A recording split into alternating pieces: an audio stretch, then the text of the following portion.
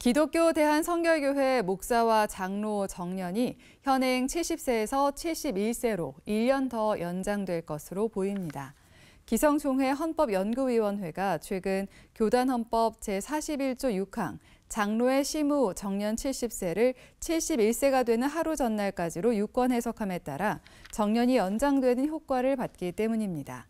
기성총회 헌법연구위원회는 정부의 만나이 통일법이 시행되면서 장로의 정년과 관련한 법 조항의 유권 해석을 의뢰받고 이 같은 결론을 내렸습니다.